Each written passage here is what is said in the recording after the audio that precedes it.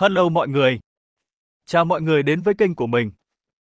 Hôm nay mình có tin cực kỳ là buồn luôn, và mình không hề xạo hì hết, mình đang không biết phải làm gì. Thì hôm qua, mình có đưa ách của mình cho bạn thân của mình, thì là bạn thân nên mình cũng tin tưởng lắm nên, mình cũng không nghĩ ngợi nhiều. Và sáng hôm nay mình đã bị mất hết rồi.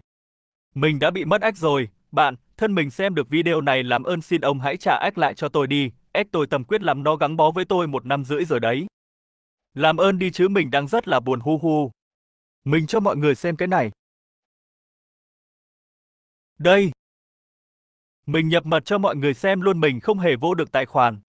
Làm ơn đi, ông là bạn thân của tôi, sao ông lại làm thế nếu muốn tôi có thể cho ông một con ếch chơi mà tôi có làm gì để ông buồn đâu. Mình nhập hoài, mình không vô được. Bạn thân mình mà xem được thì làm ơn cho mình, xin lại đi mình mất ách tầm quyết là mình rất là buồn và thất vọng lắm.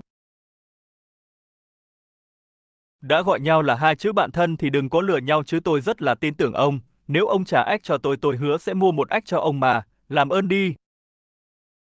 Và mình cũng chỉ làm video ngắn thôi chứ mình rất buồn. Mình tin rằng bạn mình không phải là người vô tâm. Bạn mình chắc, không có ếch chơi nên làm vậy nếu bạn mình trả lại cho mình. Mình sẽ mua ếch có vi 4 cho bạn đó mong ông xem được và trả cho tôi. Và bye mọi người.